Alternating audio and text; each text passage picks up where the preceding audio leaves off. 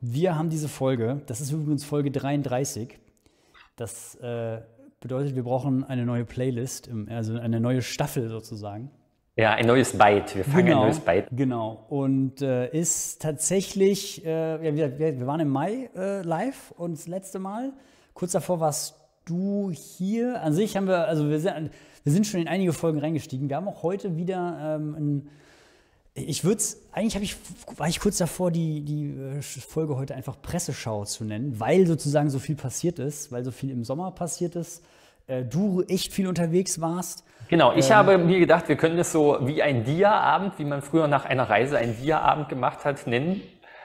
Ähm, Matthias, um, kannst du kurz für unsere für unsere doch unser, unser jüngeres Publikum erklären, was ein Dia-Abend ist. Ich habe genau ein, ein Dia-Bild Dia ist früher, also man hat äh, analog auf Film fotografiert und hat das dann entwickelt und dann konnte man entweder daraus Fotos machen, die konnte man sich dann eben klein angucken oder man konnte daraus Dias machen, die konnte man mit einem Dia-Projektor, so ein bisschen wie ein Overhead-Projektor, konnte man eben groß an die Wand werfen, um gemeinsam sich Fotos zum Beispiel gab es auch so Hörspiele oder ähm, Märchen als Dias. Eigentlich interessante okay ähm, interessantes Medium, was es heute nicht mehr so richtig und, schön und gibt. Also kann ich mich erinnern, dass wir so Dias hatten als Märchen. Das waren dann so 20, 30 Bilder irgendwie, so von den verschiedenen, was da so okay, passiert. Und dann gab es eine ja. Geschichte, die konnte man dazu vorlesen.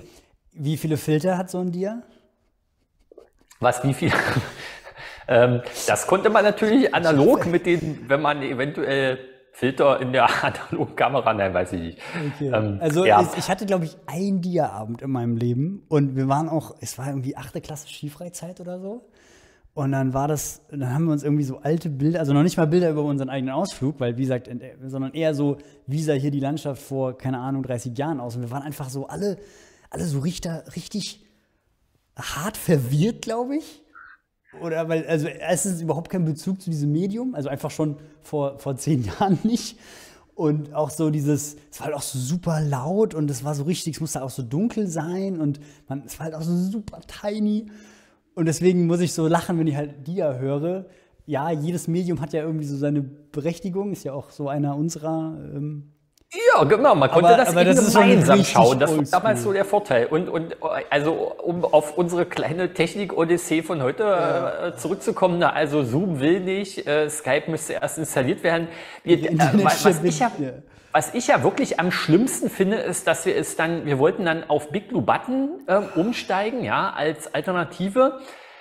Ähm, ich konnte mich erst nicht auf einem eigenen Big Blue Button Server unserer Uni anmelden. Der andere, ja. da konnte ich meine auf einem eigenen Server ich konnte ich meine, eig meine, eigene Webcam nicht freigeben. Dann haben wir deinen Server probiert, der hatte aber irgendwie auch so arg mindere Qualität. Dann haben wir wieder einen anderen Server von uns probiert ein Server, der in der Uni in Magdeburg gehostet ist, auf dem du dich dann von der Uni in Potsdam nicht connecten konntest. Ich hatte letztens das gleiche Problem, mich auf ein Big, Big Blue Button Meeting in Weimar zu verbinden. Das finde ich doch schon irgendwie relativ bedenklich. Also weil ja. genau wie du schon gesagt hast, ist so, wir schneiden das dann einfach so, dass das niemand merkt.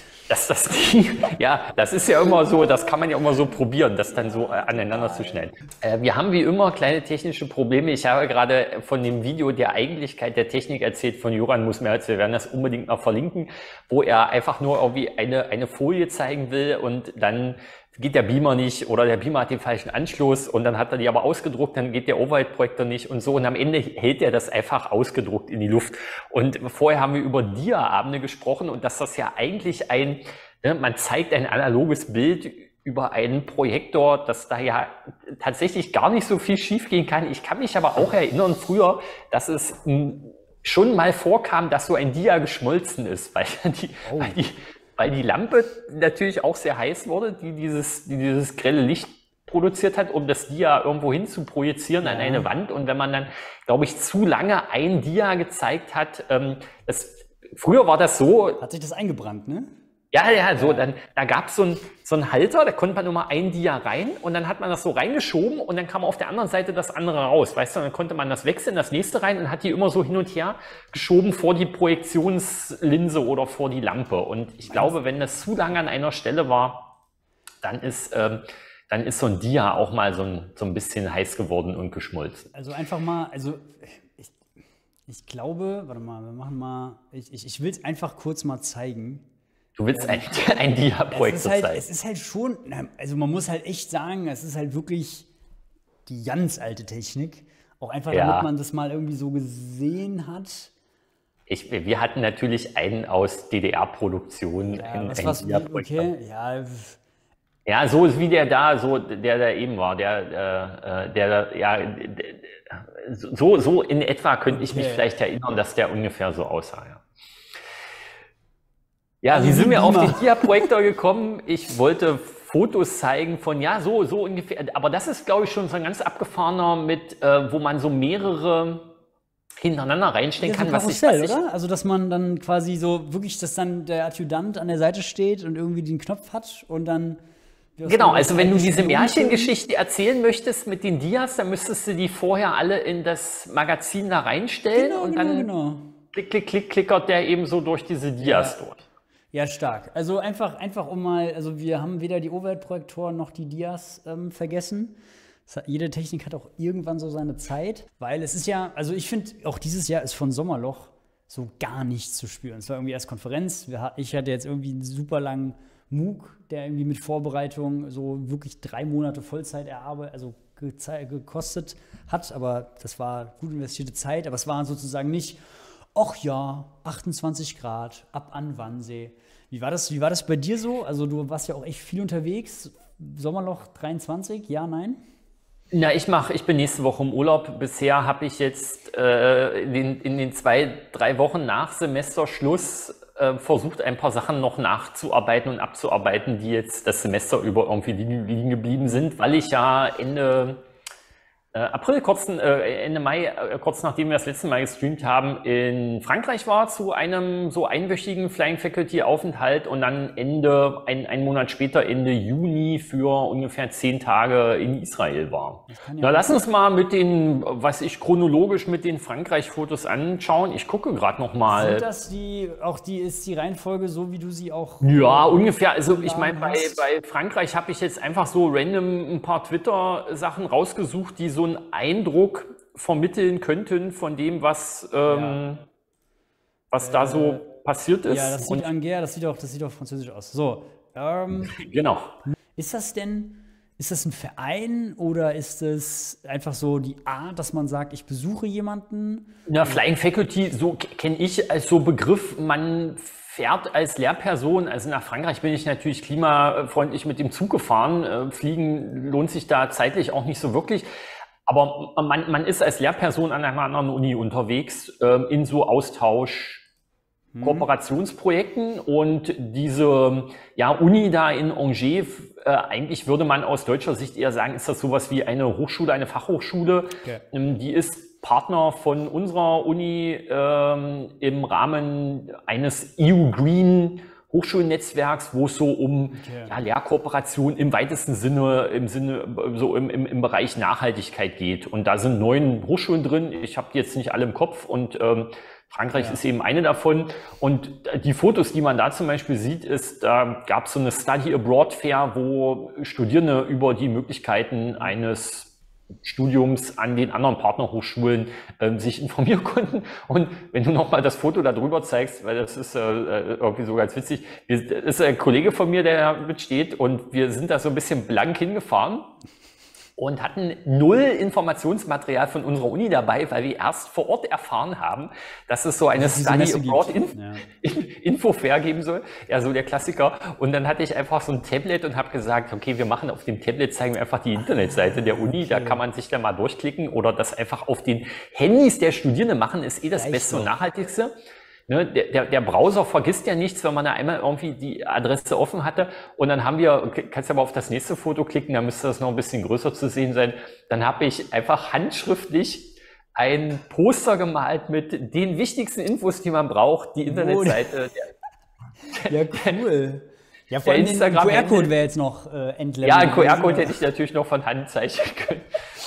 Aber dann hättest du dich auch mit niemandem unterhalten. Okay, cool. Das ist natürlich, das ist natürlich echt Premium, dass äh, ihr irgendwie da seid. Ich meine, ich glaube, die deutsch-französischen Beziehungen, auch politisch, sind natürlich auch sehr eng, aber natürlich auch, ich, ich, also ich, ich würde behaupten, dass auch die ähm, bildungspolitischen ähm, Es gibt aber auch, ja, also ich, glaub, ich glaube, wie würdest du die Zusammenarbeit, ähm, also ich, ich stelle mir das sehr nah vor und irgendwie auch sehr. Ja, sehr nah und sehr positiv. Also die, ja. das ist natürlich auch sehr dicht dran an dem. Du kannst ja mal äh, im Hintergrund einfach noch äh, random ein paar andere Fotos da, die ich da verlinkt habe, raussuchen. Ja. Ähm, also das ist natürlich auch sehr dicht dran an dem, was wir so bei uns Hochschulpolitisch machen. Da habe ich eine Videokonferenz gemacht. Das ist mein Labor, in dem ich da äh, mein ganzes oh, cool. Equipment ähm, aufgebaut habe. Ja. Weil ich natürlich da auch ein paar Live-Demos gezeigt habe. Ja. Ich würde sagen, die Unis da sind vielleicht ein bisschen besser finanziert als die in Deutschland. Also wenn man sich so die Ausstattung anschaut und auch ähm, die Anzahl an Lehrpersonen und auch so Mittelbau, ja. die da aktiv sind, ist das, glaube ich, mehr als in Deutschland. Ähm, und ist ja, auch eine wichtige Aussage. Also, ähm, wie, und und ja. ich, ich würde sagen, das kann natürlich auch eben an diesem Fachhochschulcharakter der Uni da gelegen haben, dass sie ja schon auch sehr viel Wert auf Lehre und gute Lehre legen. Ähm, das, also ne, ich hatte für mein, ich habe sozusagen acht Kurse unterrichtet, immer zwei, zwei oder acht Gruppen unterrichtet, immer zwei auf einmal ähm, in so einem kleinen Labor und für die anderen äh, Flying Faculty Lectures, die da so gab, die waren dann eher in so einem großen Plenum, in so einem großen Hörsaal dort. Ja.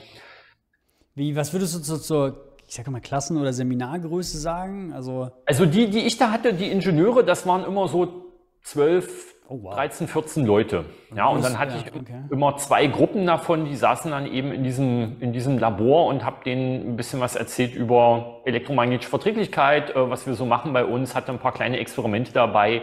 Ja, dann gab es natürlich so ein paar Meetings, mhm. wo man sich nochmal ausgetauscht hat über, was könnte man vielleicht außerhalb der Lehre noch in, in Forschung äh, kooperieren. Ja, das wobei das dann natürlich immer so ist, dass die Fachhochschulen dann eben vielleicht nicht ganz so forschungsstark sind. Das ist mein Experimentier-Equipment da, was ich da mitgebracht habe. Ah, kein Problem. Ja, mich würde jetzt vor allem auch mal so ein bisschen mehr so dieser Kontext, also es gibt ja auch, man, also gibt ja immer wieder diese, diesen Ruf nach, ähm, also Vergleichen, also jetzt meine ich gar nicht so die PISA-Rankings, also nicht Leistungsvergleich, sondern ähm, die, die, die Umgebung, also die einzelnen Parameter, ähm, Stichwort zum Beispiel auch kulturelle Dimension, da gibt es ja irgendwie auch aus den 70ern, äh, Hofstede. Also ich will jetzt gar nicht zu sehr in die Literatur einsteigen, aber natürlich liegt der Vergleich oder so dieser intuitive, wie machen die das denn? Und erzähl doch mal. Also deswegen habe ich direkt so nach so diese intuitiven Fragen, also so Klassengröße. Wie ist zum Beispiel so die Hierarchie im Klassenraum? Das finde ich irgendwie spannend.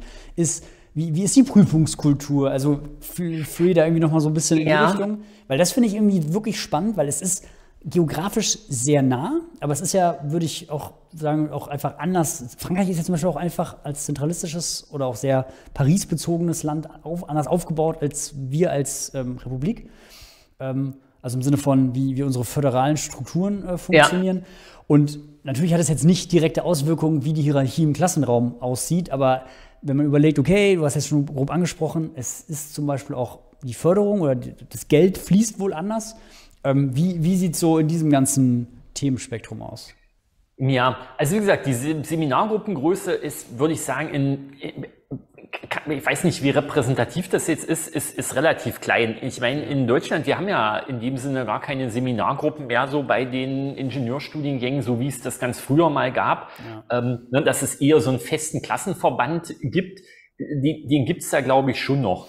Ähm, ich denke auch, dass so die, Hierarchien zwischen Studierenden und Lehrpersonen, zumindest so zwischen dem akademischen Mittelbau, nicht so wahnsinnig hoch sind. Ich, ich, ich würde sogar ähm, behaupten, dass die sich dort alle mehr oder weniger gegenseitig mit Vornamen ansprechen. Mhm. Ich weiß auch nicht, ob dieses Du, Sie in Frankreich irgendwie so ein Riesending ist. Also zumindest habe ich die Hierarchien als recht flach erlebt. Und was mir so ähm, wirklich direkt aufgefallen ist, ist, dass man ständig und immer Studierende irgendwo in irgendwelchen Räumen und Laboren der Uni ähm, oder der, der Hochschule dort rumsitzen sieht. Und dann habe ich das mal so ein bisschen hinterfragt. Und er meinten, ja, ja, das ist so ein bisschen die Policy unserer Hochschule, dass wir eben ähm, alle Räume immer offen haben, also zumindest da, wo jetzt nicht so super teures Equipment drin steht, dass sich da jederzeit Studierende in ihrer Lerngruppe und so treffen können. Und ich meine, das ist so was, was, was ich, was man in Deutschland zumindest, ich jetzt aus Magdeburg irgendwie nicht so kenne. Ne? Also hier sind auch alle Räume offen, aber jetzt eben nicht so Labore oder nicht ja, so ja die Räume, wo die Studierenden auch Praktika machen. Also mehr als Stühle ähm, und Tische gibt es hier nicht. Auf, auf, also würde genau. ich, würde ich tatsächlich unterschreiben. Ähm, also es gibt, oh, was, was aber also, trotzdem irgendwie interessant ist, es gibt Toiletten extra für das Lehrpersonal. Es gibt ja. aber ansonsten relativ ähm, hm. üblich so Unisex-Toiletten. Ja. Und ja, wo dann vielleicht das mit der Struktur, also es gibt eben einen eigenen Mensa-Bereich so für das Personal. Kaffee trinkt man typischerweise schwarz, ja, den, das Restaurant administriert. Okay, so, so habe ich das. Das war eben ein, ein kleinerer abgeschlossener Bereich der, ja. des Mensa-Gebäudes, was äh, für die, ja, eben für, weiß nicht, für so Sachen, äh, wir haben einen Baguette-Automaten. Ja, ja Baguette-Automaten. Also, dass man immer mit einem Baguette, ja. um das Klischee, des, dass man immer ein Baguette unterm Arm trägt, zu erfüllen. Ich, Wo, ich wobei sagen, ich überrascht mich jetzt. Also nee, ich habe niemanden gesehen mit einem Baguette unterm ja. Arm. Also. also es überrascht mich so ein bisschen, aber auf der anderen Seite ähm, haben mir auch schon bei Konferenzen auch mit oder Besucher gesagt, so, okay, das ist schon komisch. Ich, ich, so, Hendrik, bei euch gibt es ja Bier in der Kantine. Und also, und es ist doch erst ja, elf. Und alle so, ja, kannst du halt jetzt irgendwie hier, hier dir einen Hefeweizen gönnen. Also ich, ich glaube, wir haben jetzt keinen Hefeweizen, aber es ist halt schon normal, dass es Flaschen Bier in der Kantine gibt. Und ja, aber das war in Frankreich ja. jetzt auch relativ normal, dass ja. man, äh, dass man jetzt zum Mittag auch schon hätte einen Weißwein trinken können oder zumindest ein Cidre. Ja. Ähm, wurde da ähm, eben so wie Saft getrunken, ja. Okay. Fahrradabstellboxen habe ich jetzt in Deutschland auch in Unis selten gesehen. Also da geht noch. Ja, und das ist jetzt das nächste Bild ähm, ist so ein uh. Ja, so ein Aufenthaltsraum und oder eben ein, wo man sich auch mal hinsetzen kann und irgendwie ja. was diskutieren kann und da kann man auch seinen Laptop aufklappen. Da gibt es auch mal eine Steckdose an der Wand und da gibt es äh, vor allem eben vier. Auch, ja eine Mikrowelle. Ja, und ähm, um sich ein bisschen warm zu machen, da gab es auch eine kleine Spüle und so eine Mini-Küchenzeile und ähm, ich habe jetzt natürlich, weil ich äh, äh, da niemanden fragen wollte, ich habe das dann immer so fotografiert zu Zeiten, wo da niemand drin saß, aber das war auch gut frequentiert. Ja, ja definitiv. Also ähm, vor allem, also was ich ja gesagt habe, man, das ist ja das kostet ja jetzt alles nichts. Natürlich kannst du dir jetzt nicht jede Woche so eine neue Ausstattung, also wenn es jetzt jede Woche randaliert wird und irgendwie Spray und wie auch immer, aber das, das, das sieht ja nach einem Katalograum aus. Also da, ja, da, kommt ja sogar Sonnenlicht rein, will ich damit sagen. Ja. Die Mikrowelle, es gibt ja auch so, ja, die Mikrowelle wird eingestellt, weil dann riecht es immer so. Also, ah, ich finde ich cool. Und das ist ja wirklich irgendwie so, ich sag mal eigentlich Bare Minimum. Also das ist ja jetzt, es ist jetzt irgendwie kein Raum. Also die Stühle sehen schon echt bequem aus, aber das ist jetzt irgendwie auch kein Raum, wo ich als Studierender sagen würde, boah, hier machen wir jetzt heute Abend WG-Party drin, weil der Raum ist der. Also es ist halt einfach ein ganz normaler Raum und es ist halt einfach so ein bisschen, ja. bisschen traurig dass uns das so krass gefällt und die das so, oh mein Gott, das ist ja großartig, weil eigentlich ist es ein stinknormaler Raum mit einer Mikrowelle und zwei Türen und zwei Fenstern und es sollte halt irgendwie normal sein, aber ist es halt nicht. Also Genau, also solche Räume würde ich sagen, sieht man an deutschen Unis doch irgendwie relativ selten, äh, selten ja. oder zumindest irgendwie seltener. Ja. Ähm, also das, das ist mir so aufgefallen, dass man das Studium oder ebenso das ringsrum, das Campusleben schon versucht, eben ein bisschen angenehmer zu gestalten. Ähm, ansonsten, was vielleicht so die, FranzosInnen auch nicht, nicht großartig viel weiter als wir. Oh. Ähm, also zum Beispiel kamen wir da hin und haben dann äh, jeder von uns irgendwie so eine Mappe bekommen mit ausgedruckt, wo so die wichtigsten Infos drin waren. Und haben uns alle im Prinzip angeguckt und haben gesagt, ja, wäre nett, wenn wir die Infos einfach schon eine Woche vorher als PDF irgendwie in, in Cloud-Speicher bekommen. Alles klar. ja, Kannst ja halt einfach ein Foto machen, ja. Ja. Wobei äh, das ja auch nicht richtig digital ist, wenn wir ehrlich sind. Das ist irgendwie die Auswirkung. Ja, und zum Beispiel so Teilnahmelisten für die Studierenden. Also ähm, Zumindest, ich weiß nicht, ob das jetzt so ein, so ein Ding war von, von diesen Flying Faculty Seminaren, die wir gemacht haben. Also da gab es offensichtlich sowas wie Teilnahmelisten, wo die Studierenden unterschreiben sollten. Und das waren eben auch ganz einfach ausgedruckte Listen. Also da gab es jetzt kein Online-System und kein, irgendwie kein Code und so. Und okay. ich meine, so ein bisschen, als ich dann da aufschlug mit meinem PD-Case voller Experimentierequipment und mit meinem PD-Case von Kamera und so und das da aufgebaut habe und Mikrofon hier und Kamera dort und dann ganz selbstverständlich im Prinzip auch die Lehrveranstaltung gestreamt habe ähm, und aufgezeichnet habe. Klar. So, so, so, so ein bisschen komisch haben die Leute auch geguckt. So, okay, ne? Oh, das, ja. Hm. also das war jetzt da auch nicht so ganz der Standard. Äh, du kannst mal, irgendwo habe ich ja so ein, äh, noch so ein Twitter-Thread mit Hörsaaltechnik. Ähm, ja. vielleicht, vielleicht, vielleicht können wir in den reinschauen, weil du ja auch gefragt hattest nach Prüfungskultur. Und ich würde sagen, die Prüfungskultur, ähm, würde ich sagen, ist dort eben auch noch relativ traditionell. Ähm, weil dieser Raum, Aber meinst du ähm, da habe ich so. Also ich, ich finde jetzt nur das aus Deutschland. Du hast neue Dinge getestet. Nee, und da drüber muss es irgendwo sowas geben, Hörsaaltechnik. Ah, Hörsaaltechnik, ja. ja hier genau. sind genau. 400. ja, 400 Links. Ja, ist, links. Äh, wir, wir, wir, zeigen ja, wir zeigen ja dieses Dokument nie, aber. Das, Bitte? Sind das jetzt noch Tweets oder sind das X? Ich habe es noch nicht Das ist, es sind immer noch Tweets. Wir werden das. okay. Ja, das Weil die ganze Domain heißt ja, aber dazu später. Okay, also. Uh, du musst wieder den Bildschirm freigeben, du musst wieder den Bildschirm freigeben. Ja, das sieht, das sieht sehr stark nach angetretenen Staatsexamen aus. Ja, genau. Das ist dieser Raum, da, hat, da war so die Eröffnungsveranstaltung drin. Oh Gott. Okay. Ähm, und ja. ich habe dann geguckt, das ist eben ein Prüfungsraum oder ein Raum, der üblicherweise für Prüfungen genutzt wird, mit Reihen und Spalten einer Matrixanordnung von Stühlen. Nicht mal ähm, versetzt, okay, krass, ja. Ja, und, und ähm, also da stand zum Beispiel ein sehr teurer Beamer rum, aber auch, wie man sieht, so ein bisschen temporär. Eigentlich ist der dafür gedacht, äh, weil schon das Logo auf dem Kopf ist, den irgendwo teuer ja. an die Decke zu montieren. Und klick mal, klick mal einfach so durch die Fotos durch, da was da noch so kommt. Ähm ah ja, die, so, so Schränke kennen wir auch. Und wenn es ins Internet dann nicht geht, hast du halt auch verloren, weil du kommst da nichts ran.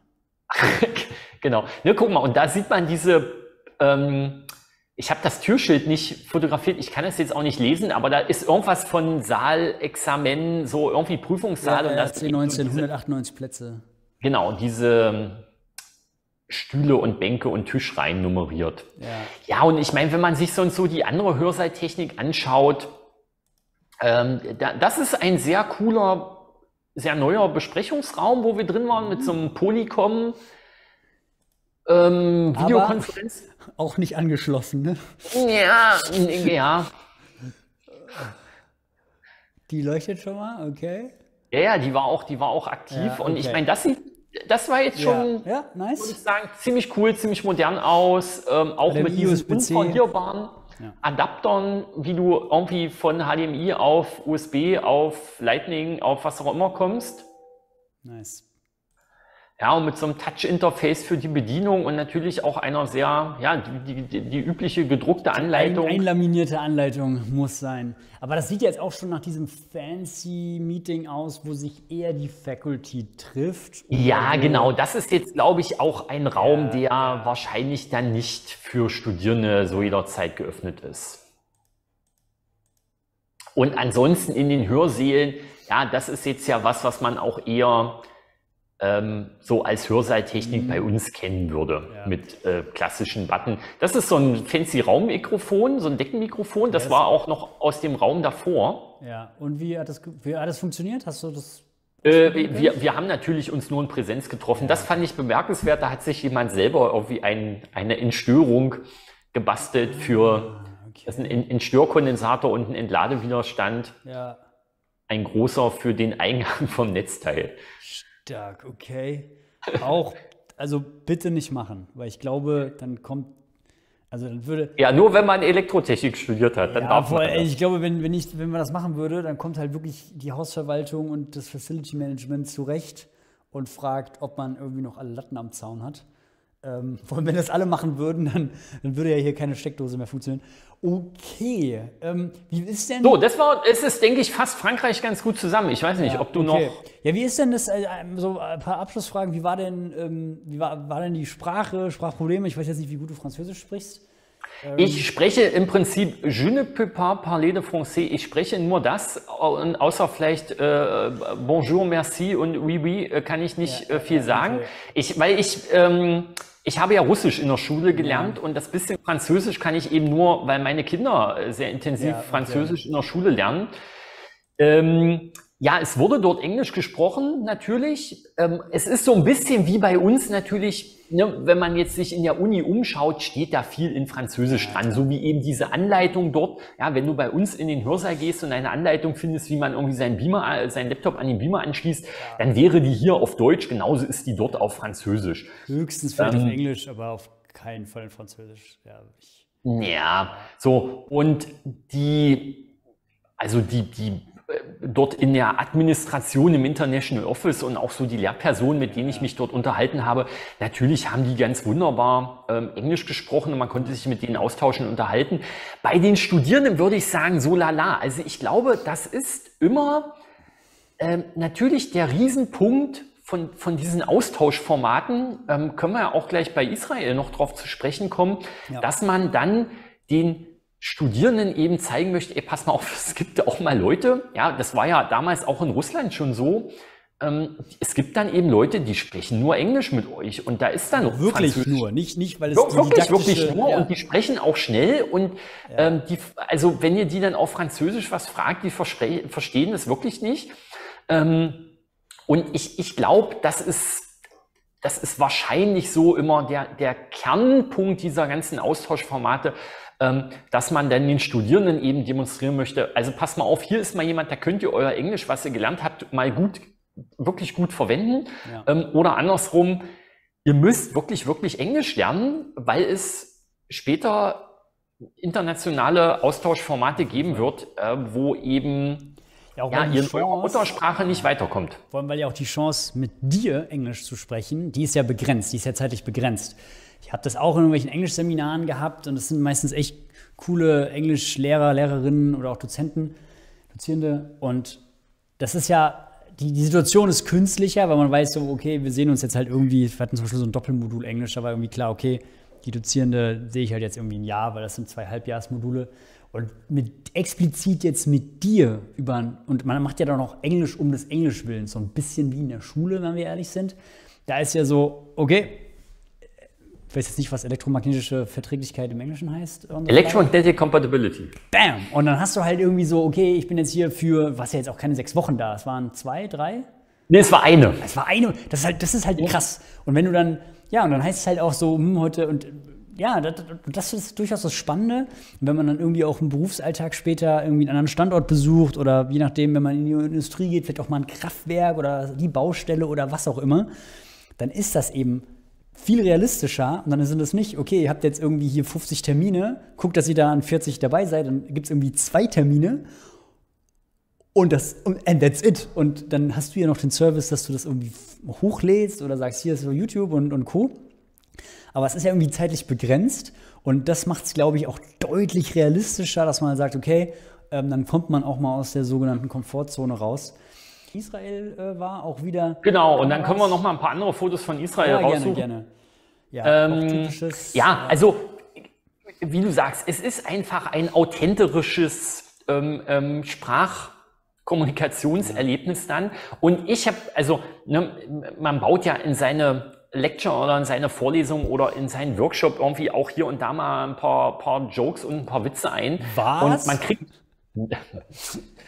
Und wenn man dann mit kriegt, dass die Leute schon einen interessiert angucken, interessiert da sitzen, aber an den entscheidenden Stellen jetzt irgendwie nicht in Gelächter ähm, verfallen, dann, dann merkt man ja, dass die jetzt nicht, nicht alles verstanden haben, was man ihnen irgendwie erzählt hat. Und, ähm, oder, also weil wir vorhin von kulturellen äh, Unterschieden hatten, oder Humor funktioniert grundsätzlich anders und dann auch noch anders im Bildungskontext. Also das kann ja, das kann, sein. das kann natürlich sein, weiß ich nicht. Aber ich auch, äh, als wir uns dann auf der Study Abroad Fair nochmal intensiver mit Studierenden ausgetauscht mhm. haben, war das manchmal schon sehr zäh. Also ich glaube, da ist auch die, die Spannweite, Spannbreite eben sehr weit. Es gibt sehr Leute, Absolut. die sehr gut äh, eben Englisch sprechen. Es gibt auch Leute, für denen das einfach sehr schwer fällt oder die dann noch großes Optimierungspotenzial haben.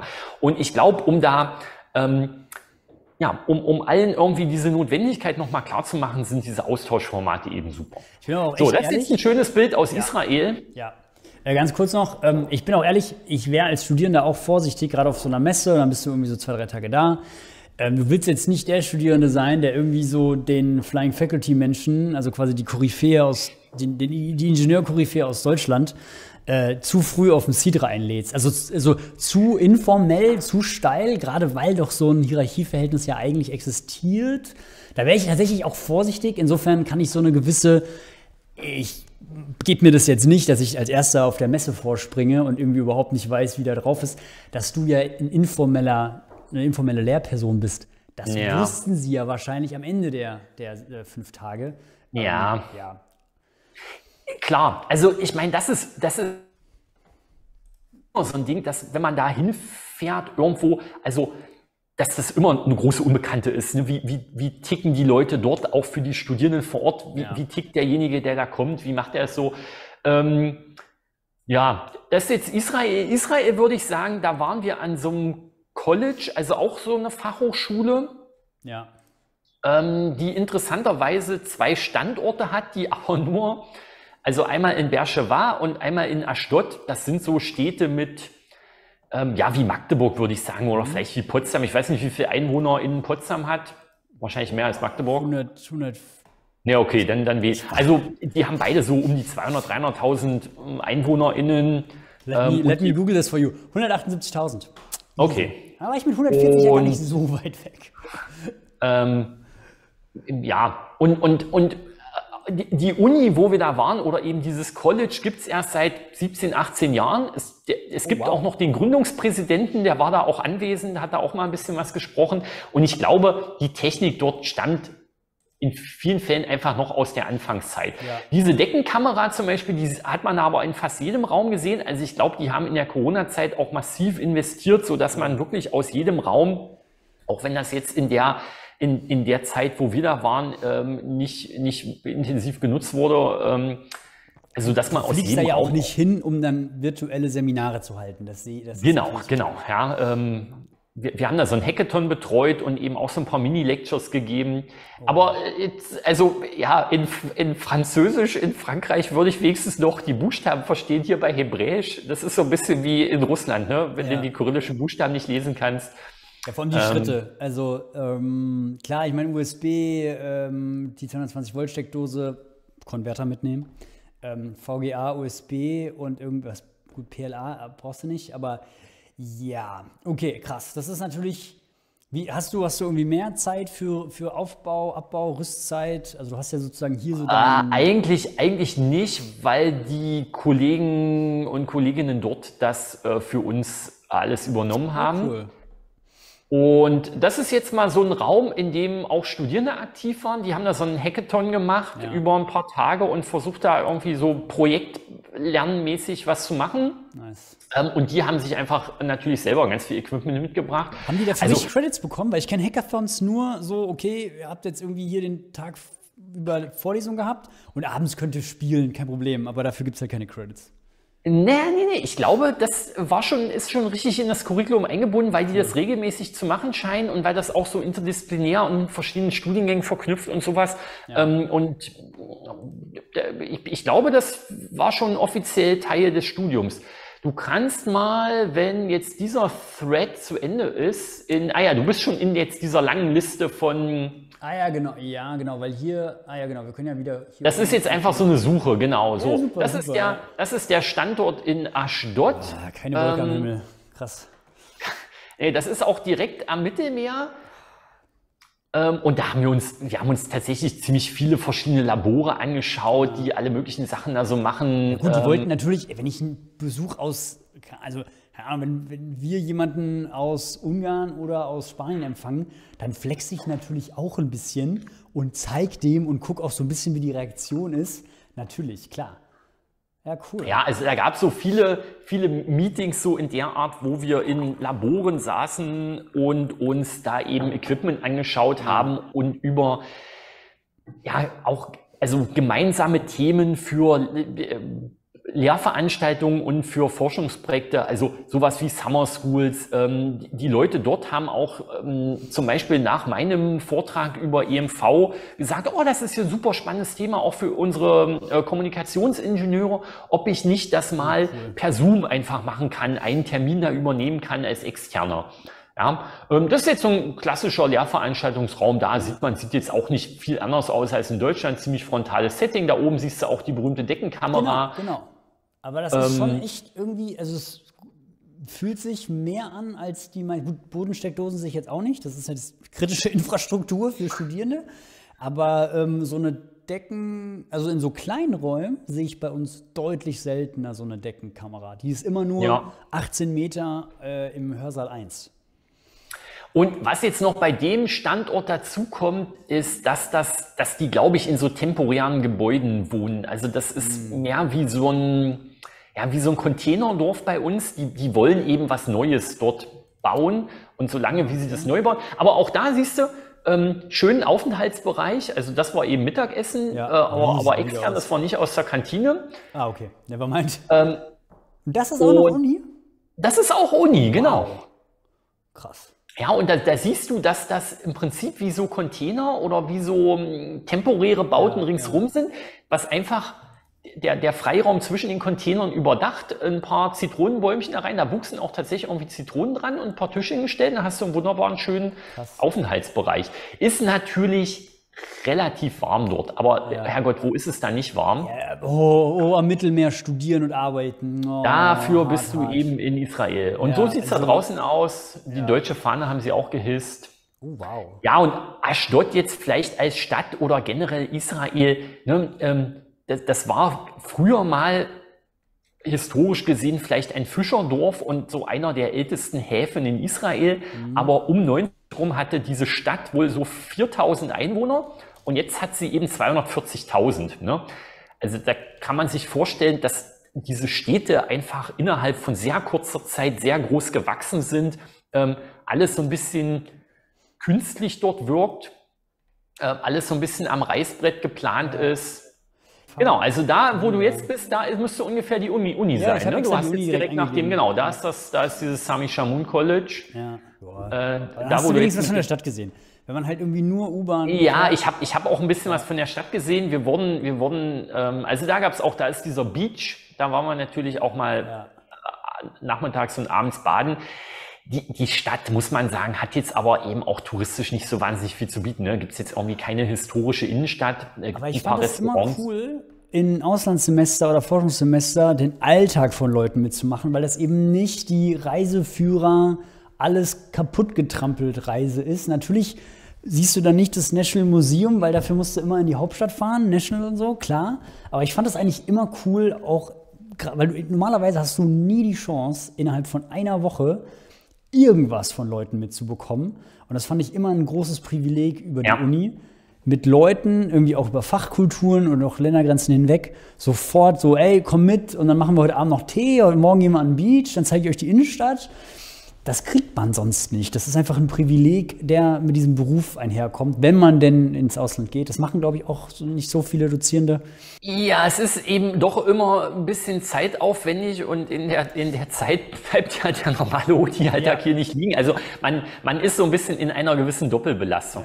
Ja, was jetzt, was jetzt da speziell an dem Ort war, ähm, wie gesagt, die Uni war relativ weit weg von unserem Hotel. Ich weiß nicht, das waren so Laufweg viereinhalb Kilometer, das ist eben jetzt nichts, was man dann ähm, auch als also in Frankreich war das eine ähnliche Strecke, die bin ich dann auch jeden Tag zu Fuß gegangen, einfach weil das ein super schöner Weg war.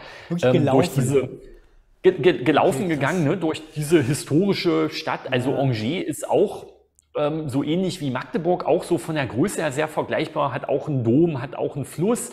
Ähm, ja, auch da ist die, ist die Hochschule so wie in Magdeburg eigentlich auf der anderen Seite des Flusses und da konnte man wunderbar laufen. Aber in Israel, ähm, erstmal wäre es da nicht sehr schön gewesen zu laufen. Es ist auch tagsüber natürlich unwahrscheinlich heiß ja, dann draußen. Klar, klar. Ähm, und die, ja, die Kollegen dort, die, die hatten auch immer, glaube ich, so ein bisschen Bedenken. Also wenn wir gesagt haben, hier in, dem, in, in Bercheva, da waren das irgendwie so 1,2 Kilometer, da haben die auch gesagt, nein, das könnt ihr doch nicht laufen, das ist doch viel zu weit. Jetzt wegen der Hitze oder wegen, wegen Sicherheits? ja, wegen, wegen der Hitze. Okay. Also die haben immer Angst gehabt, dass wir das, ähm, dass wir da irgendwie... Ist halt auch, kannst du, kommt, kommt, kommt der... Äh, kommt der Informatiker oder Ingenieur mit Kellerbräune aus, aus Deutschland und dann das. Genau, also das ist irgendwo ah, wow, zwischen okay. Paris und Nantes und Rennes ist da noch irgendwie in der Nähe und Le Mans, so was man ja vielleicht kennt von diesem Autorennen. Ah ja, ja, ja, ja. 24-Stunden-Rennen von Le Mans. Ja, okay, okay. Aber, genau, so. Okay. Und da so ein bisschen eben in der Provinz liegt Angers.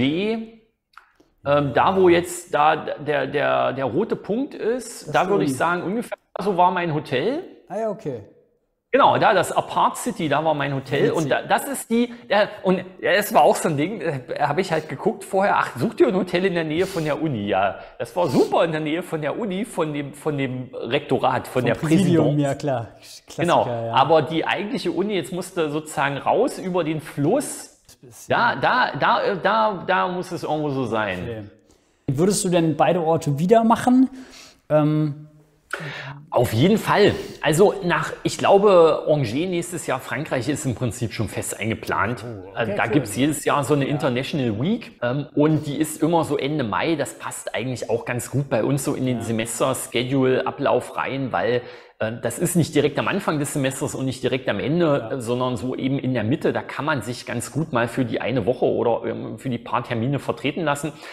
Ähm, und ich glaube, ich wäre da auch wieder gern gesehener Gast, habe das auch für mich im Prinzip fürs nächste Jahr schon mal so eingeplant. Und da jetzt mit dem Zug hinzufahren, gut, da ist noch mal eben ein Tag Hinreise und ein Tag Abreise ähm, irgendwie weg. Ist, also meine Güte. Aber das, das kann man, glaube ich, schon trotzdem auf jeden Fall mit seinem Gewissen dann vereinbaren. Ja. Ähm, Israel weiß jetzt nicht, würde ich jetzt nicht direkt nächstes Jahr wieder hinfliegen. Ja. Ähm, aber Israel, je nachdem über welche. Genau, aber es ist eben sehr nett. Man hat mal die Standorte gesehen, man hat ja. mal so ein bisschen da eben Luft geschnuppert, äh, man hat mal ein paar Leute kennengelernt und ich glaube, damit ist jetzt so ein, also wenn, wenn sonst jetzt jemand ähm, mich gefragt hätte, ich es natürlich bestimmt gemacht, aber ich glaube, es wäre einfach niemand auf die Idee gekommen, jetzt von dort mich einzuladen, per Zoom mal ein mhm. oder zwei ähm, passende Themen von Lehrveranstaltungen irgendwie ähm, als Online Remote Flying Faculty sozusagen und, zu übernehmen. Und, und ich glaube, die Tür ist jetzt geöffnet. Und, und das ist, also vor allem, obwohl du schon so eine starke Online-Präsenz hast, mit den Streams, mit den Konferenzen, deine Folien werden vorher hochgeladen, du hast auch relativ viele Videos, also insgesamt hast du sehr viele Videos, aber auch auf Englisch. Und trotz dieser Online-Präsenz, weil man hätte sich dich ja schon angucken können, so, hm, okay, bist du drauf, was macht er so inhaltlich? Und trotzdem reicht es, weil wir sind totale Verfechter von Online und Video digital und es gibt Szenarien, die ergeben einfach Sinn und die funktionieren und die funktionieren auch teilweise besser. Aber jetzt diese erste sich austauschen und irgendwie mal zusammenkommen, obwohl du so eine starke Online-Präsenz hast, hat das, hat, hat das nicht gereicht. Und das ist ja irgendwie auch mal ein interessanter, äh, eine interessante Beobachtung dass man eben, ja, auch so dieses erste, auch die müssen natürlich auch gucken, wen lassen die denn auf ihre Studierenden los? Das verstehe ich natürlich auch. Und auch du willst natürlich, okay, wie ist die Betreuung, wie ist irgendwie das Ganze vor Ort? Hätte, hätte ja auch sein können, dass du sagst, so, hm, ja, ist eher so ein Bucketlist-Ding. Und äh, es gibt ja auch noch andere schöne Orte, die auch jeweils äh, Unis haben und Co. Definitiv. Und also vielleicht noch, äh, vielleicht noch abschließend, was da so ein bisschen die, den Unterschied der Kultur angeht. Was mir aufgefallen ist in Israel, ähm, vielleicht ist das auch so ein Ding dieses Colleges, ich weiß es nicht, die machen unwahrscheinlich viele Projekte. Ähm, cool. und, und unwahrscheinlich viel Praxis. Also in, in, in Frankreich fand ich das auch schon, wenn man sich da so die üblichen Studiengangsflyer und so angeschaut hat mit den Beschreibungen der Curricula, dann war da eine, eine sehr hohe Zahl drin von Praxisstunden, die sie irgendwie Versuche im Labor machen und so Sachen. Ähm, und in, in Israel haben die Studis, also sowas, was wir in, in unserem Lego-Praktikum machen, ne? also hier ist irgendwas, ja ähm, baut was, programmiert das, äh, druckt was mit einem 3D-Drucker, nimmt ein Arduino, frickelt da irgendwelche Sensoren ran, baut irgendeinen Roboter, der irgendwie dieses und jenes macht. Das haben die da, glaube ich, gemacht als bei uns und eben auch dann ähm, diese Ergebnisse zu präsentieren. Also wir haben uns dann viele studentische Präsentationen angeschaut, die hatten dann ähm, auf den Fluren, ich muss mal gucken, ob du noch mal irgendwie da so ein paar Fotos findest, ähm, und dann die im Zweifel nochmal freigeben. Also die haben dann auf den Fluren und auch das ist, das, das war jetzt in, in, in Berchewa, auf dem anderen Standort, da ist mir so aufgefallen, sowas würde es würdest du jetzt bei uns überhaupt gar nicht hinbekommen, weil unsere mhm. Gebäude alle so funktional gebaut sind, dass wir eben keine großen ausladenden Flure oder Foyerbereiche haben, wo man jetzt ganz viele studentische Gruppen hinstellen könnte, die dann jeweils ähm, vor ja, einem Monitor nicht haben. Ja. und vor einem Tischchen irgendwie ihr Projekt präsentieren. Und das gab es halt. Ne? Da gab es einen großen, riesenlangen, breiten Flur. Dann wurden da ganz viele Tische aufgebaut und Monitore. Ja. Und dann habe ich die irgendwann mal so gefragt, ey, die Monitore und so, ne? Jede Gruppe hatte dann so ein, weiß ich, 40 Zoll oder paar 30 Zoll ähm, Monitor, um da ihre Folien und, und Poster und Sachen zu zeigen. Und dann habe ich die gefragt, die habt ihr jetzt schon ausgeliehen für das Event hier? Nee, nee, die gehören der Uni. So, die, ne? Also da, ähm, was die, ja auch die, nur Monitore sind. Das ist halt so krass, dass uns das so flasht, dass sie. Ich meine, so Monitore mit Stativen oh und so. Gott, Monitore. Für, für eben, krass. Äh, für so Präsentationen, weil die, weil die das einfach scheinbar regelmäßig und oft dort machen. Ich finde schon, naja, ist egal. Ja, und, und ähm, da, da war dann auch nochmal so ein Punkt mit der Sprache, dass die Studis natürlich vorher gesagt bekommen haben, macht diese Präsentation bitte auf Englisch, bereitet eure Folien auf Englisch vor, bereitet eure Poster auf Englisch vor. Und ich ich glaube, eigentlich hätten die gesagt, boah, warum müssen wir das machen? Hier ist doch nur, sind doch nur wir und alle sprechen spricht hier, ja. Hebräisch. Ähm, und, und jetzt kamen aber wir und wir haben auch sehr interessiert getan, uns, ähm, und wir waren auch wirklich interessiert, uns die Ergebnisse ja. dieser Studierenden anzuschauen. Und ich glaube, die waren super happy. Die haben dann auch immer gefragt, ob sie Fotos mit uns machen können. Und ähm, also die waren sehr, sehr, sehr engagiert dann auch dabei, uns dort ihre Projekte vorzustellen. Und ich glaube, dieses projektbasierte Lernen ähm, ist wirklich was, was, was irgendwie gut funktioniert, wo sich jeder kreativ austoben kann, denn jede Gruppe, wo du auch so diese Gruppendynamik drin hast und eben auch diese ganzen Soft Skills von Zeit- und Projektmanagement und diese ganzen Präsentationsskills und ähm, das, auf, auf sowas wurde dort, glaube ich, sehr viel Wert gelegt. Das erinnert mich einfach total an, der, an den Comic von äh, Constructive Amusement? Ja, genau. Oder, oder ist es. Also dieser, inhaltlich geht es darum, äh, wir, haben diese, wir haben ein neues Gen äh, entdeckt und hier auch ein Medikament entwickelt äh, im Rahmen vom Seminar. Und dann sagt das Prüfungsbüro, ja, aber in, im, in dem, im Prüfungskatalog steht Klausur. Ja, ja, okay. Und es ist, es ist einfach ich weiß gar nicht, ob das überhaupt, ob überhaupt, das überhaupt hilft zu sagen, so hier, guck mal, was die Israelis und ähm, die Franzosen machen und wie es fun das funktioniert. Es ist so. Ja?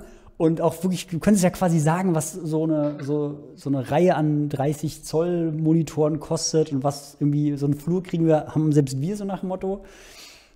Ich weiß aber teilweise gar nicht, ob es hilft, da jetzt an Entscheidungsträger anzugehen und sagen, hier, das kostet es, so und so, das ist irgendwie ein Nutzungsszenario. Ein Bildschirm ist ja sogar content-agnostisch. Da kann ich ja mehr oder minder alles dranhängen, wenn ich gucke, dass da irgendwie ein modernes Kabel dranhängt. Und es ist, es ist so traurig einfach, dass uns das so flasht und zu sagen so, oh mein Gott, weil eigentlich ist es nur eine Art zu sagen, wir können hier was präsentieren und das, das alleine macht ja auch noch kein Modul. Also nur weil ich jetzt irgendwie 13 Bildschirme kaufe, die, auf, die, die rollbar sind, heißt es ja nicht, dass ich irgendwie, ich muss natürlich auch noch mehr. Das ist wieder dieser Punkt, wo man sagt, ja, nur Geräte, auch so Stichwort Hochschulpakt und so, nur Geräte reicht nicht, du brauchst irgendwie Infrastruktur, brauchst Leute, die sich darum kümmern. Und du brauchst die Seminare, die das dann auch benutzen, und zwar nicht nur, wenn der Pressetermin ansteht.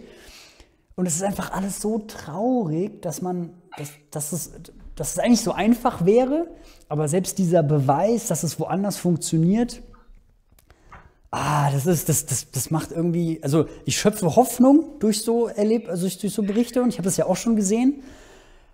Es, es frustriert aber auch so ein bisschen, weil man weiß, das kannst du halt hier voll vergessen. Das wird halt nicht passieren. Ja, also Fazit wäre vielleicht, ähm, es nützt auf jeden Fall was, den Campus lebenswerter zu gestalten, ein bisschen Geld zu investieren, eben nicht nur funktionale, sondern vielleicht auch einfach schicke und äh, lebenswerte Gebäude zu bauen, indem man sich gerne aufhält, projektbasierte Lehre zu machen, äh, den Praxisanteil in so einem Studium ähm, ein bisschen zu erhöhen und da in der Hinsicht ein bisschen mutiger zu sein. Und dann kommen die Studierenden vielleicht auch tatsächlich von ganz alleine und äh, sind eben happy, dass sie da an so einem Standort und an so einer Uni äh, sind und kommen eben gern in die Lehrveranstaltung. Auf jeden Fall. Also gerade, ich meine, ob es jetzt Magdeburg, Potsdam oder die zwei Städte ähm, sind, die du jetzt be besucht hast, ich will jetzt nicht schon wieder auffallen mit einem mit einer falschen Betonung, deswegen sage ich einfach nur die zwei Städte. Ähm, die sind, also gerade wenn es so kleinere Städte sind, und wir hatten ja auch schon, ähm, Einschreibezahlen sind leicht im Rückgang, je nachdem, wie man die Statistik jetzt genau betrachtet. Entweder sie bleibt gleich oder es ist irgendwie äh, leicht rückläufig. Ähm, wir haben einfach, und auch kleinere Campi müssen sich, ich, also ich, glaube jetzt, dass sie ums Überleben kämpfen müssen, ist vielleicht so auch zu, zu viel Clickbait, aber es ist ja durchaus einfach eine Frage, was machen denn kleinere Hochschulstandorte? Und wir haben auch in Deutschland relativ viele kleine Hochschulstandorte, weil wir haben nun mal nur fünf große Städte. Und dann gibt es da irgendwie noch so eine B-List. Und da würde ich sogar irgendwie Potsdam und Magdeburg sogar noch, also rein größentechnisch auf so einer B-List haben, so zusammen mit Würzburg und ähm, also diesen mit großen Städten. Und man braucht ja irgendwie mal einen Plan. Und ich finde es so spannend, dass du jetzt eigentlich an, an zwei relativ kleinen oder kleineren Orten warst die ja auch total, also ich kann mir gut, gut, vorstellen, dass die dich jederzeit wieder nehmen, weil es ist halt auch einfach eine Möglichkeit, du hast denen ja jetzt auch keine Kostennote dagelassen. Das war ja irgendwie so, hey, wir gucken irgendwie, das äh, beidseitig gefördert. Und das ist natürlich händeringend, wird das natürlich aufgenommen. Vom interkulturellen Austausch mal äh, ganz, ganz zu schweigen. Und ähm, ja, das, das, wir brauchen auch so Konzepte für, für unsere kleineren Unis ja, und auch ähm, die Studierenden, also das habe ich ja auch in Deutschland den, äh, den Eindruck und ich nehme mich da auch selber nicht aus. Ich bin ja in meinem Studium auch nicht ins Ausland gegangen, ähm, weil ich das nicht? einfach irgendwie sehr aufwendig fand. Okay. Und ich würde sagen, Studierende hier, Studierende in Frankreich, ähm, gerade vielleicht eben jetzt so in den nicht ganz so großen Städten wie Magdeburg, wie Angers oder wie meinetwegen da in Bercheva und Ashdod, die sind eben sehr familiär verwurzelt an den Standorten und für die ist es schwierig, äh, sich überhaupt vorzustellen, das ist auch das, was bei dieser Study Abroad Fair rausgekommen ist, sich überhaupt vorzustellen, mal für so ein Semester ins Ausland zu gehen. Krass, ne? Ja. Und ähm, also dann zu zeigen, okay, da gibt es eine Lehrperson, äh, da kenne ich vielleicht schon mal jemanden, der hat mir auch diesen Standort schon mal ein bisschen ja. vorgestellt und so, das kann helfen. Oder eben andersrum, ja, wenn der Prophet nicht zum Berg, dann muss der Berg zum Propheten, wenn ich Internationalisierung in einem Studiengang haben will und die Leute wollen einfach nicht diesen Standort verlassen, gut, dann muss ich ein bisschen die Internationalisierung eben von außen in den Studiengang reinbringen, dann kann natürlich so Flying Faculty Aufenthalte auch helfen. Und ähm, bei diesen beiden Standorten in Israel, die waren nur 60 Kilometer voneinander entfernt. Und dann haben wir die mal gefragt, weil das ist ja auch komisch, warum habt ihr jetzt eine Uni mit zwei Standorten, die nur 60 Kilometer voneinander entfernt sind? Warum können eure Studierenden nicht einfach dann jeweils zu dem anderen Standort irgendwie kommen? Und dann äh, war so die, die Meinung, na, das ist schon zu weit. Also die Studierenden sind da wirklich sehr, sehr, sehr fest Krass. verwurzelt.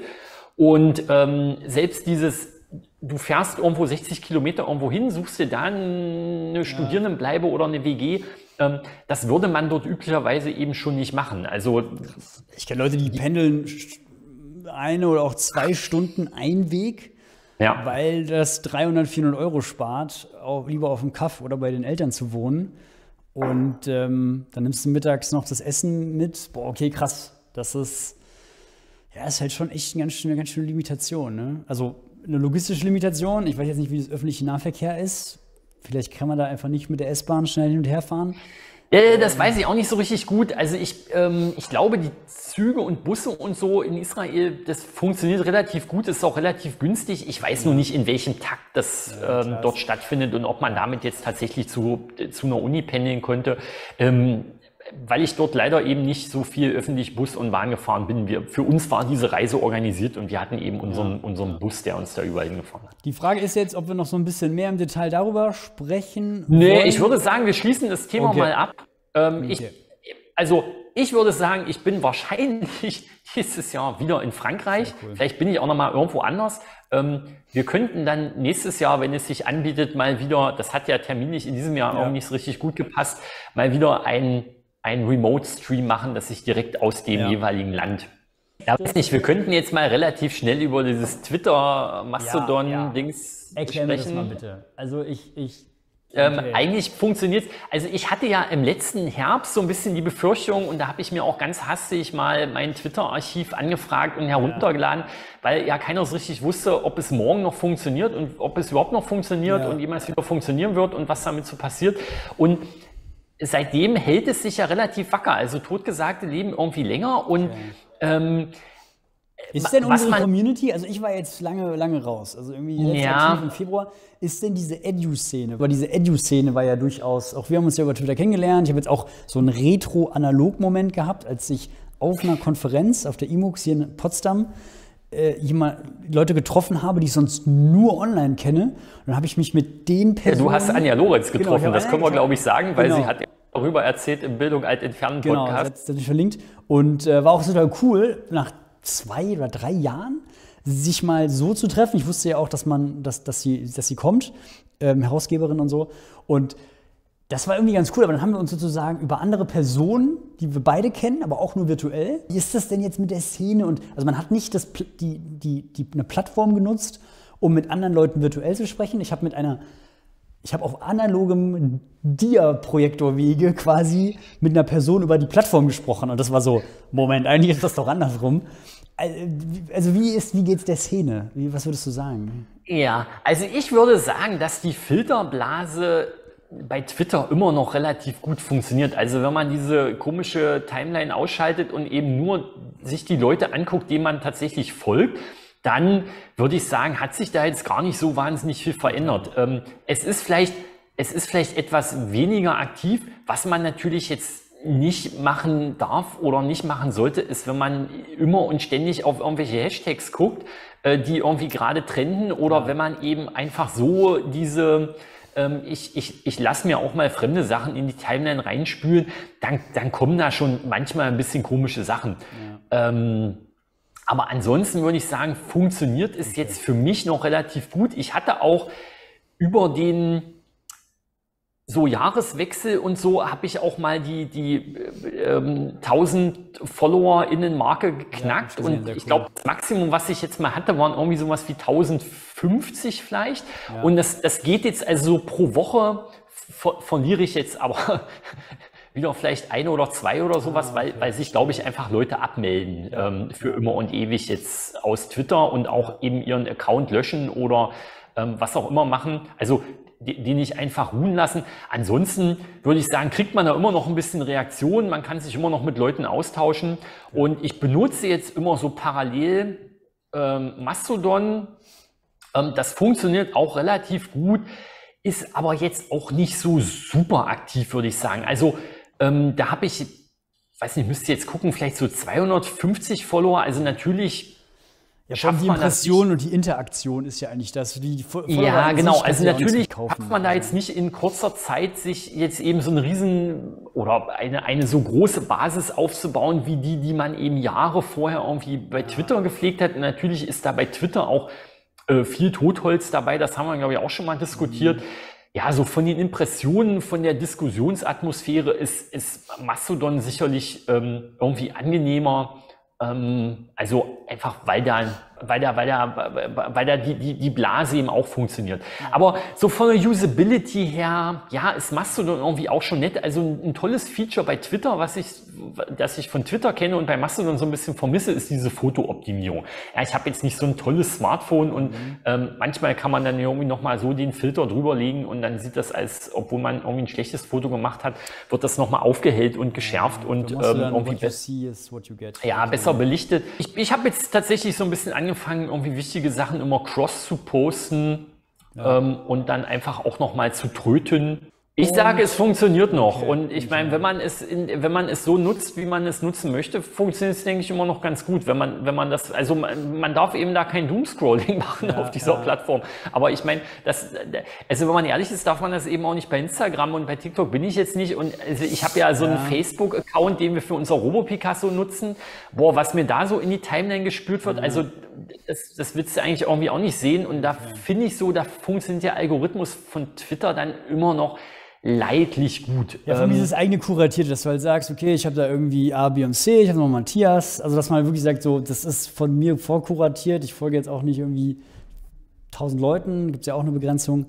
Ja, also, und zum Beispiel ja. diese komische Begrenzung, dass man pro Tag irgendwie nur x 100 ja. Tweets irgendwie lesen konnte, in die bin ich eben auch jetzt in den schlimmsten Zeiten nie reingelaufen. Also okay. vielleicht nutze ich es dann eben auch nicht intensiv genug, weiß ich nicht. Ähm, aber ich für, für mich funktioniert es in diesem Sinne noch ganz gut. Hast du dieses Thread, Threads? Nee, nee. Ausdruck? Nee, okay. Nee. also ich bin äh, auch super, also Oh, ich bin auch so ein krasser Late-Adopter, was diese ganzen. Also ich war ja, ich war ja für Facebook schon zu spät. Also ja. Äh, das ist wirklich. Äh, ich, ich gucke mir das immer so super lange an und das muss wirklich so richtig fliegen. Und selbst Twitter irgendwie 2017, also so ultra late to the game. Selbst, selbst zu Spotify kam ich halt irgendwie schon viel später ja. und habe irgendwie noch CDs gewechselt, so nach dem Motto. Und irgendwie, äh, dann merkst du mal so, okay, gibt es eigentlich was Neues? Ja, mal gucken, was die. Und irgendwie ist jetzt kein soziales Medium in dem, in dem Sinne, aber auch da kann man ja irgendwie Artists folgen und so. Und ich bin immer so late to the party, dass ich mir das jetzt auch immer noch einfach noch in Ruhe weiter angucke, was die, was die Tech-Fabriken da irgendwie noch. Aber ein bisschen schade ist es schon, weil man fühlt, also so Puls der Zeit geht schon verloren. Ähm, also weil ich einfach selbst entschieden habe, nee, ich bin jetzt erstmal weniger aktiv. Ähm, man kriegt natürlich ein bisschen mehr Zeit raus, weil man irgendwie nicht überlegen muss, wie guckt, wie sieht das Foto jetzt gut aus und wie äh, fotografiere ich den Seminarraum, sodass das irgendwie clickable und likable aussieht. Ähm, also es nimmt auch so ein bisschen Mental Load, sage ich ganz ehrlich. Ich war letztens auf einem Klassentreffen und Oha. habe mich natürlich mit ehemaligen Mitschülern und Mitschülerinnen unterhalten. Ach, und ein, ein Satz, den ich oft gehört habe, ist, oh, du machst immer so coole Sachen und teilst das auf Twitter oder du machst immer so coole Sachen und teilst das auf LinkedIn oder du machst immer so coole Sachen und teilst ähm, und also Was von, war das letzte? von Mastodon Instagram. Instagram, okay. Und von Mastodon spricht keiner. Von Mastodon hat jetzt irgendwie noch keiner so richtig gesprochen. Okay. Ähm, also ich glaube, dass also viele Leute, die von Twitter weggegangen sind und irgendwie mal Mastodon für sich ausprobiert haben und festgestellt haben, die Kuh fliegt vielleicht doch nicht so. Ähm, die sind jetzt, glaube ich, bei LinkedIn gelandet. Und ich meine, wenn man ehrlich ist, LinkedIn ist dann aber auch genau das. Also ich, ich, ich sehe diesen riesen Vorteil von Mastodon mit der Dezentralität und mit den ja, Instanzen ja, ja. und mit den Dings. Aber solange eben die, die Unis nicht wirklich auf diesen Zug aufspringen oder irgendwie so die hochdidaktischen Netzwerke oder weiß nicht und sagen, hier, ne, wir machen als Uni eine Instanz, ja aber dann auch mit allem drum und dran. Wir kümmern uns ein bisschen um Moderation und wir, wir, wir sehen das aber eben auch als eine Riesenchance im ja. Sinne von, dass wir darüber dass wir äh, über so eine Mastodon-Instanz natürlich auch sowas wie so ein Alumni-Netzwerk pflegen können, äh, dass man darüber äh, vielleicht sowas wie Citizen Science und so machen kann. Ja. Ich glaube, dass äh, alle sehen immer nur die Kosten und alle sehen nur die Moderations, den Moderationsaufwand und, und nicht Dinge, so ja. die, die ganzen Dinge, die da, die man da noch irgendwie mit abfallen kann. Und also auf, auf LinkedIn findet sowas zum Beispiel natürlich irgendwie alles statt, aber ja, hast ja trotzdem irgendwie so dieses kommerzielle Plattform und irgendwie viel Werbung ringsrum ja. und ähm, auch dieses Professional Development. Genau, ständig HR. schreibt dir irgendein Recruiter mhm. und will dich wieder irgendwie abwerben und dann ist so LinkedIn ist Jetzt, jetzt hackst, jetzt immer noch so diese, wir, wir, kennen ja auch alle so diese LinkedIn-Memes, ja, ich habe heute meine Führerscheinprüfung bestanden, würdest du sagen, und bei LinkedIn schreibst du ja, I'm very happy to announce that ja. I'm so, und, ja, so, und ähm, dieses, Twitter war für mich auch immer so ein bisschen die Plattform, um ab und zu mal so ein bisschen abzurenten. Ja, ja. Und ich finde, das machst du irgendwie nicht auf LinkedIn. Also LinkedIn ist so für mich ja. irgendwie, das liest du auch selten, dass sich Leute, also LinkedIn ist so ein bisschen, ja, wir sind alles super successful und alles total happy und ähm, äh, very engaged und was man schon irgendwie alles Tolles gemacht hat. So ähnlich, so ähnlich wie, wie Instagram auch. Also da gibt es ja durchaus auch eher so diese, ich bin Ja, genau. Fit, und ich meine, mein Haus klar, sieht super ja. aus, meine Frau und mein Mann sieht super aus, unsere Kinder sind glücklich. Das hat sich nicht wie also, Teilen angefühlt. ja.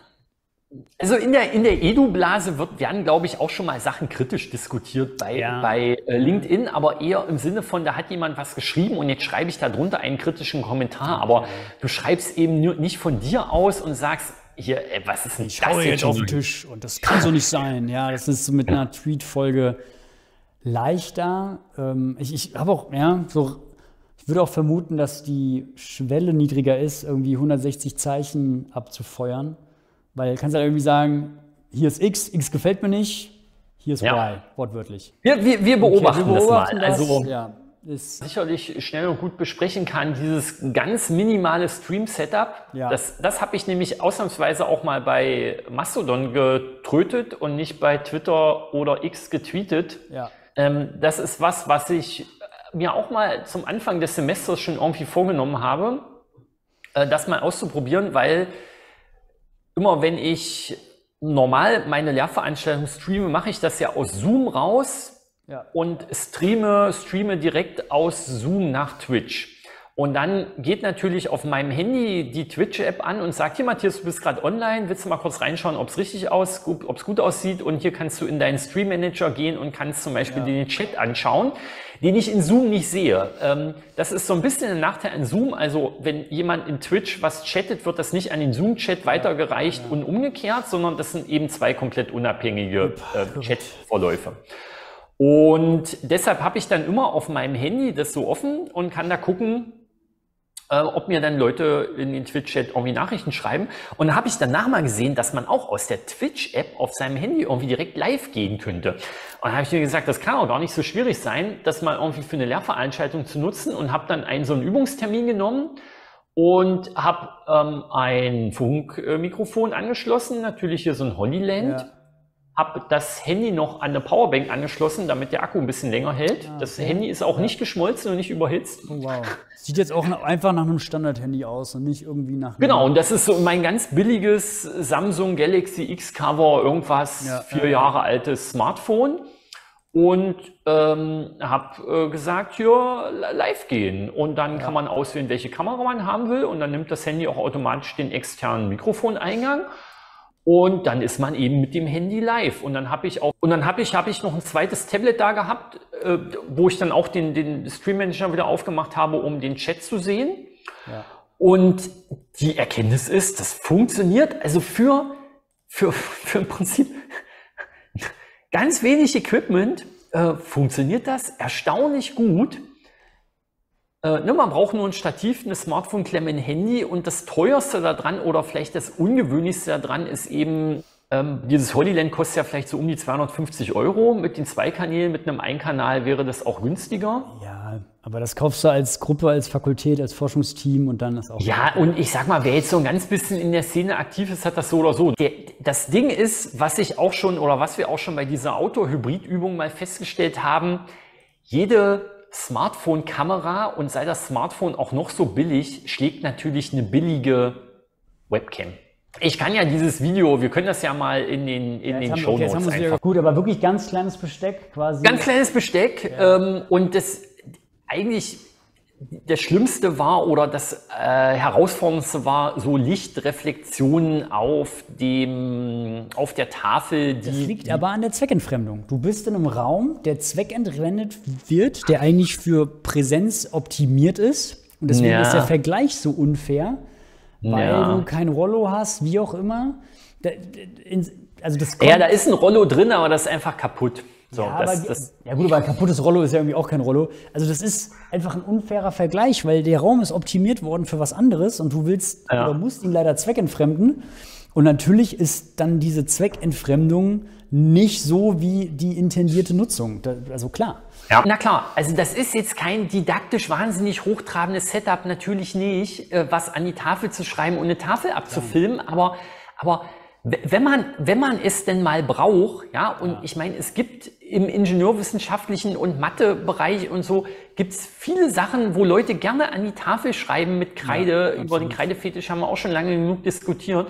Und, äh, und da sind mal Studierende dabei, die in der Woche nicht können aus diesen und jenen Gründen oder man möchte das irgendwie mal dokumentieren ja. oder aufzeichnen oder bereitstellen. dann ist das so. Eine technische Hürde, würde ich mal sagen, gibt es eigentlich nicht. Ja, weil ich brauche ein, ein Stativ, ein Handy, eine Klemme und ein Mikrofon ja. und that's it. Und dann gehe ich in Twitch ja. rein, sage hier live gehen und ähm, genau. da, da brauche ich auch keinen großen Vorbereitungsaufwand. Also das ist, da wo wir das gemacht haben, ist einer dieser berühmten ähm, 9, 7 Uhr bis 9 Uhr morgens Übungstermine. Ne? Boah, da wäre ich auf jeden Fall einer, der da, also einen Zuschauer hetzte, das wäre nämlich ich. ähm, ich habe hier auch gerade eine von denen da auf so einem super kleinen Stativ. Hier fehlt jetzt leider, das hat keinen Kugelkopf, das heißt, da, da kann man jetzt das Handy danach nicht neigen und so. Aber das ist äh, super simpel und man kann das Handy so hochkant machen. Und wenn ich jetzt das Stativ hier abschraube, und das auf die andere Seite, genau. dann. Aber das muss halt das im so Stativ sein, das muss fest sein und ich meine, ob das jetzt Stativ ist oder einfach in einem ein fest verschraubtes Rohr, aus, im, im also mir geht es darum, dass das Teil der festen Infrastruktur rein so, sein soll. Und es kann nicht sein, dass das irgendwie zu viel Arbeit ist, irgendwie so ein festes Stativ in ein paar Hörsälen zu installieren, wo halt irgendwie ein Dreiachtelgewinde drauf ist. Fertig. So. Ja, also zumindest, ich müsste mal gucken, ob ich dieses Video noch habe habe ich in dem gleichen Raum, das ist nämlich ein Raum, der auch so eine Logitech Rally Videokonferenzanlage hat, die das aber große Besteck. Äh, das große Besteck, die aber natürlich in so einem Schaltschrankkästchen an der Rückwand äh, des Raumes installiert ist. Und ich habe mal so eine genau gleiche Tafelvorlesung ähm, auch mit dem Oliland Mikrofon und, und eben mit diesem mit dieser Logitech ja. Rally Kamera gemacht. Ähm, ich würde sagen, die Bildqualität war da jetzt auch nicht besser, weil ich meine, wenn Krass. du ne, das Handy, wenn du eine Tafel abfilmst, ich meine, die Tafel hat nun mal irgendwie einen begrenzten Kontrast und ähm, das, die, die Handykameras sind da meines Erachtens irgendwie schon ziemlich gut optimiert von, von den Algorithmen, die da nochmal hinterliegen, um da irgendwie das letzte aus dem Bild rauszuholen. Und ich meine, bei der Logitech Rallye musste ich da auf jeden Fall meinen Laptop aufbauen, ne? Und irgendwie ja, USB-Kabel ja. hier stecken, allein um die Kamera ran und dann musste doch wieder Zoom und dann musste in Zoom sagen, jetzt live auf Twitch und ja. so. Und ich meine, bei dem Handy, das ist auch wirklich von der Software so stinkend einfach, dass du reingehst, sagst Twitch-App, dann musst du, wie du sagst, das einzige, du musst einen Account haben und dann sagst du live gehen, ja? Und dann kannst du vorher auch deinen Leuten schon sagen, äh, geht einfach auf meinen Account, ja. da findet ihr den Livestream und da findet ja. ihr auch die Aufzeichnung. Du musst nicht irgendwie in Zoom aufzeichnen, das auf irgendeine Cloud hochladen oder auf ein LMS ja, oder irgendwie Zugangsdaten von einem Zoom-Meeting hervorher teilen.